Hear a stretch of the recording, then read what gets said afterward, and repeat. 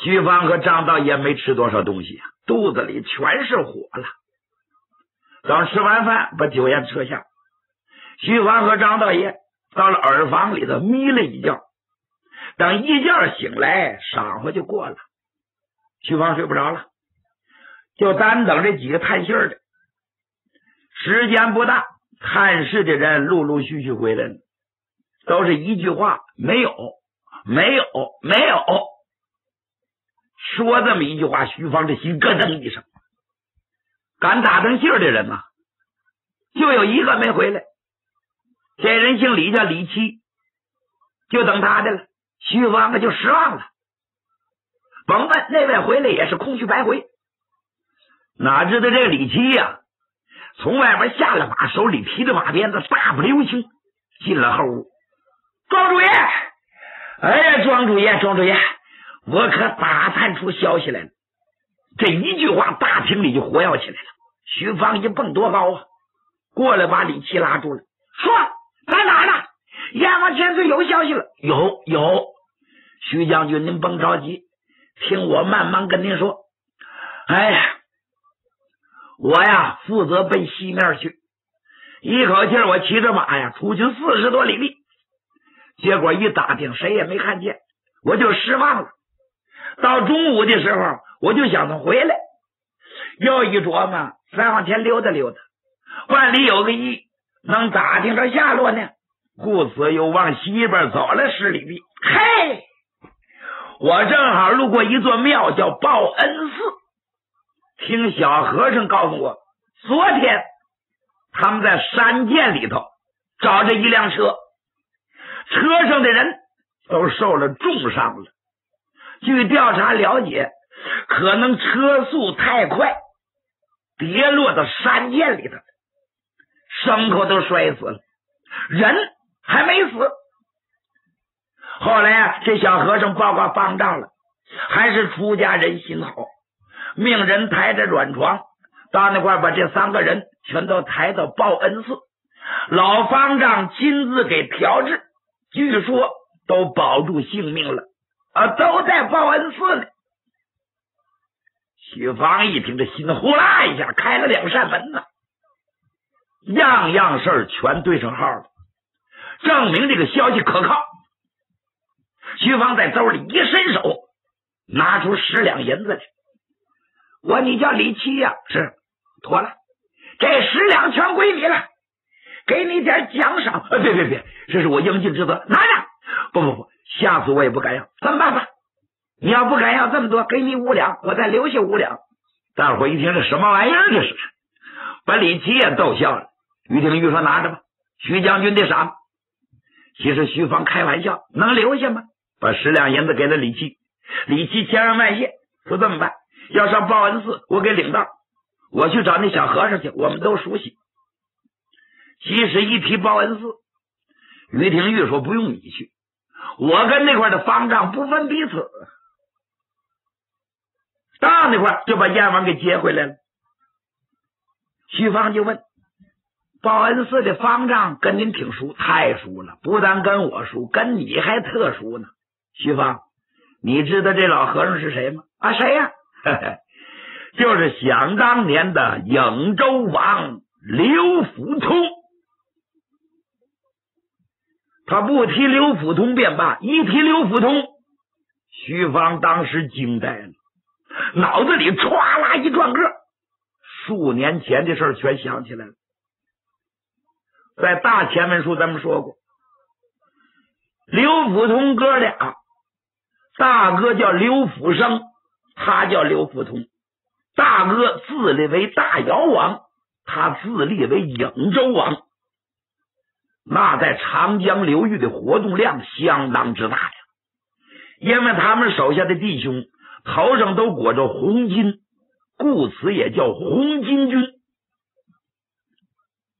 杀官夺府，揭竿而起，专门反对大元。后来跟朱元璋发生摩擦了。咱们曾经说过，张家庄徐芳出事，就这小矬子，刚跟老师那学完图毕业，正好遇上颍州大王刘福生。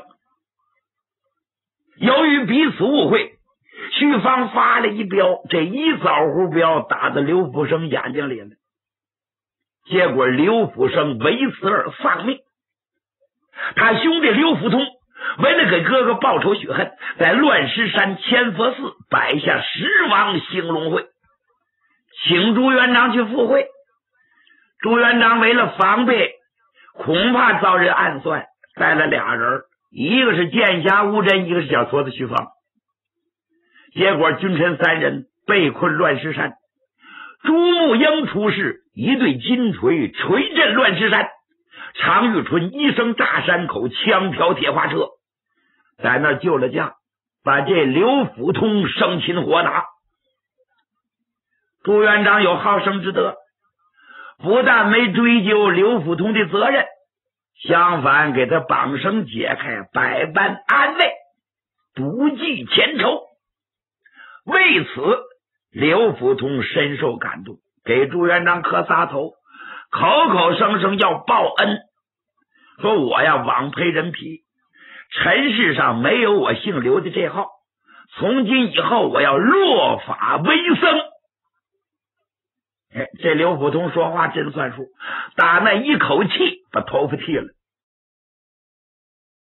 身为三宝弟子，出家在什么地方呢？一开始没有庙门，到处化缘当流浪僧，以后就在这地方站住脚了。自己手边有点积蓄，再化点缘，修了一座报恩寺。给谁报恩呢？就是给朱元璋报恩。朱元璋不把我放了，我没有今天。打那以后，尘世上就很少提他的名字，就似乎这个人已经不存在。实则不然，刘福通活的挺硬实，挺硬实的，武功根本没扔下。他跟于廷玉是莫逆的好朋友，于廷玉还是他庙上的大香主，每逢年节，哎，都到这来募捐捐款，给送一些祭品。没事，两个人还下下棋，还谈天论地，谈谈武功，很合得来。今天李七一说这个事儿，于廷玉高兴了，大包大揽。刘福通跟我不分彼此，到那一句话全完事儿。快点吧，咱马上起身赶奔报恩寺。徐芳不那么想的，徐芳本来挺高兴。一听刘福通这仨字心情讶异，低头不语。于廷玉就问呢：“徐芳，你怎么了？你应当高兴。我高兴个屁！哎呀，咋那么倒霉呀？虽然是过去的事了，我讲这刘福通跟我完不了啊。我们俩是针尖对麦芒啊。如今我有求于他，他能不能拿把呀？”哎，你放心，过去的事还提什么。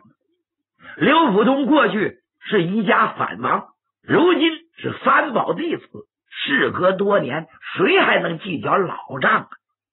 你不要以小人之心度君子之腹。但愿如此。刘福通要是正人君子，那我是求之不得。不过我总觉着这玩意儿差点这么办行不行？去也可以，我先别露面，您跟他谈，听听他的口风。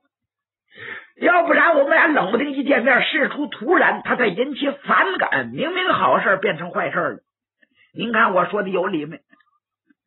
张道爷一听，对，徐芳所料极是啊，有道是人心隔肚皮，做事两不知。他贸然的一登门。万一刘福通想起当年的事一有反感，这事麻烦了。既然你跟他不错，透透他的话，他要不计前仇，那不更好吗？哪怕让徐芳给他赔赔礼、认认罪，我们高高兴兴把燕王接回来，一片云彩就满散了。好吧，于廷玉点头。既然投到自己门下，自己就得大包大揽。张道爷那么高的身份不便跟随，张道爷就留到朱林庄听信。徐芳呢，仍然使用老办法，化妆成个小书童，跟着于廷玉赶奔报恩寺。路上咱没话，眨眼之间，他们离开村庄，李七引路直到报恩寺。徐芳头眼一看，哎呦，这庙可够大的，背后靠着一座小山坡，青山叠翠，风景如画。庙门对着大道，来往的行人车辆是必经之路。离这庙不远是个小村庄，还有酒饭茶馆看来还有个小集市，经常有人在这做买卖，也不那么荒凉。一看这座大庙，三道山门，完全涂着红色，黄绿琉璃瓦的顶子，门闭着，上头都是兽面雕着金环，正中央大匾写着“报恩寺”。三个字，李琦站住，就这。嗯，于廷玉告诉徐芳：“你不要着急啊，也不要言语，你看我的。”啪啪啪，叩打庙门。时间不大，小门开了，出来两个小和尚。这两个人脑瓜剃的锃明刷亮，双掌合十，大问讯：“阿弥陀佛！”我，哎呦，于施主，善哉善哉。您怎么高兴上这儿来了啊？我想你师傅了，到这儿来看看。老方丈在吗？在在在在。我们这儿来了几个病人。哎呀，我们老方丈忙坏了，日夜在旁边守候着，给这几个人治伤呢。徐芳一听，心里的高兴啊！看来这消息更确切了，一点错也没有了。但愿刘福通。你是度量大一点哎，这事就好办的多的多了。这时候呢，于廷玉说话了：“小师傅，劳你们金身大驾给我送个信儿，我要见见你家方丈。”哎呀，您还是外人吗，赶紧往里请吧。说话之间，众人进了庙，有人把角门关闭，直到了后院，小和尚先撩帘进了屋了。时间不大。就见里边晃动身躯，走出一位胖大的僧人，徐芳都认不出了，一点都不像刘福通了。就是这个脸面，那个鼻子，那个脸，那个眉毛，那个眼儿，你仔细看还能辨认出来。不然的话，走在街上干脆不认得了。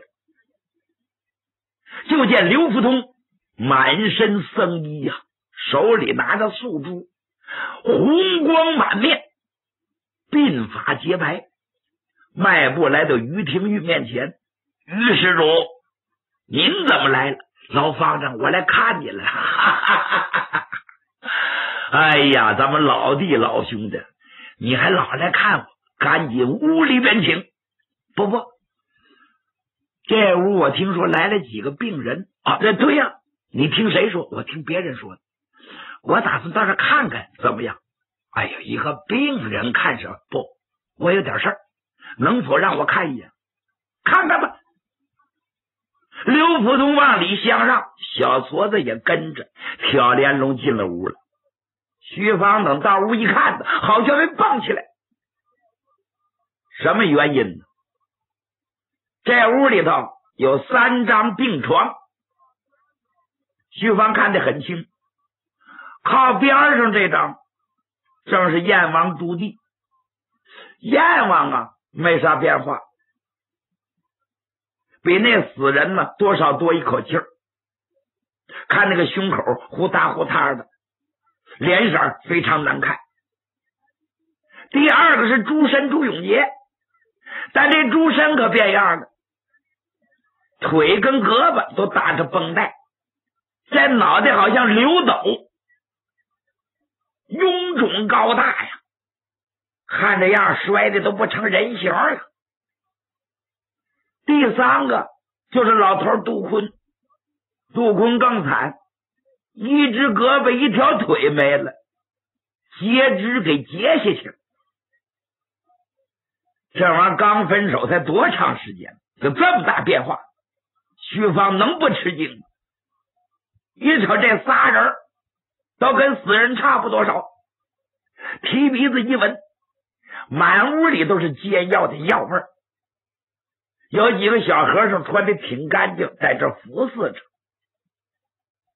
徐芳真想蹦起来问问经过，又一想慢着，我是化妆而来呀，现在不是我说话的时候！哎呀，真急死我也！仗着他个小，又在于廷玉身后，不引起人们的注意了。于廷玉也是一皱眉。挨张病床看了看，二话没说，刘福通往外相让，这才来到客室。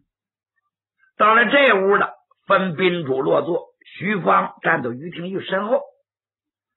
刘福通就问于施主：“无事不登三宝殿，今天您突然驾到，有事儿吧？”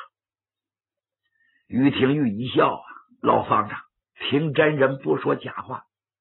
为什么我先要进病房去看看？我就为三人而来。哦，您跟这三个人熟悉？太熟了。请问老方丈，你知道这仨人是谁吗？呃，这我不清楚。我就知道他们是从山上滚落下来的。自从抬到我的庙里头，人事不省，谁也没说过话。我上哪里知道？哎呀，老方丈啊，我告诉你吧，靠着井边上那位年纪比较轻的，那就是洪武万岁朱元璋的四儿子燕王千岁朱棣。挨着他那个是朱元璋没出五福的弟兄。叫朱深，那老头缺胳膊少腿那位，就是明凤山的老寨主巡山走杜坤。于廷玉把这话刚说完了，就见刘福通双眉倒竖，站起身躯。阿弥陀佛，善哉呀，善！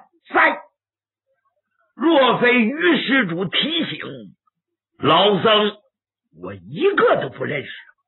哦，这当中还有燕王千岁，可不是吗？这一点儿都不带错的。于廷玉接着又说：“老方丈，您真是出家之人，佛光普照，大慈大悲。要不是您手下的弟子发现。”这三个人谁都活不了，您看看，您还能派人抬到报恩寺，您还精心在这给护理治疗，真是大慈大悲呀！这三个人保住命，我相信连他的家属，在文武群臣、当兵的弟兄，没有一个不感激您的。这是我们出家人的本分。何须要报答呀？于施主，那么这个消息你是听谁说的呢？这老方丈，你别忘了，当初我在大明也做过官，能没有几个朋友吗？别看我在珠帘庄耳目比较灵通，有人早把这消息告诉我了。哦，那就好。那么，请问于世主？你除了看看这几个人之外，还有别的事吗？嗯，还有点老方丈，我想问问您，那么给这三个人治好了之后，您打算怎么处理呢？是把他们送回太平府啊，还是怎么的呢？我打算问问。如果庙上忙，不如把这仨人就交给我。带到我们竹林庄，我替您把他们打发了。于施主不必了，你要不提这三个人是谁，我给他们治好了，分文不取。问明住址，让他们的家属来接人来。如果不用接，自己能走，我就把他们开门一放，爱上哪上哪去。可是经理方才这么一提醒，我这才知道里边有朱元璋的儿子。老僧就改变了主意，我打算给他们治好之后，套一辆车送往南京，交给洪武万岁，叫他发落。呀哈，于廷玉一听坏了，交给朱元璋还好得了吗？老方丈，那你这又何必呢？为什么把他送到南京呢？哎呀，于施主，你怎么明白人说糊涂话？这个朱棣是个什么人？你清楚不清楚？他是国家的叛臣，朱家的逆子，父母的恩情得有多大？他不但不报恩，相反领兵带队以死伐父，简直是乱了伦了。这种事情在历史上都是罕见的。老僧最恨这种人。再者一说，朱元璋对我有好处啊！我为什么修报恩寺？就是报朱元璋不杀之恩。因此，我更要把这朱棣送到南京，以尽老僧我一份报恩之心。小矬子徐芳在旁边一听，一拨了脑袋。徐芳一听坏了，我不出我所料，这事遇上麻烦了，有心说话。认为还不是自己插话的时候，把他急得嗓子眼直刺呀，在后边直咳嗽，直出这个劲儿。于廷玉也上了火了。廖维思索片刻，老方丈，话不能这么说。你看，你有你的看法，我有我的看法。我认为朱棣这个人还不错。当然喽，从表面上说。儿子打爹，大逆不孝，反对大明，属于乱臣择子，这是不假。但这得总有个原因吧？盐从哪咸，醋在哪酸，万事都得有个根本。他为什么要这么做？据我所知，朱棣是被迫无奈呀。老方丈，你比我聪明的多。当初你是一路的反王，经历多，见得广，人情道理比我透。那么，请问，孟子说过这样的话：说君不正，臣不忠，臣投外国；父不正，子不孝，各奔他乡。于廷玉这话还没等说完呢，刘福通把眼睛一瞪，这才有一场意外的大战。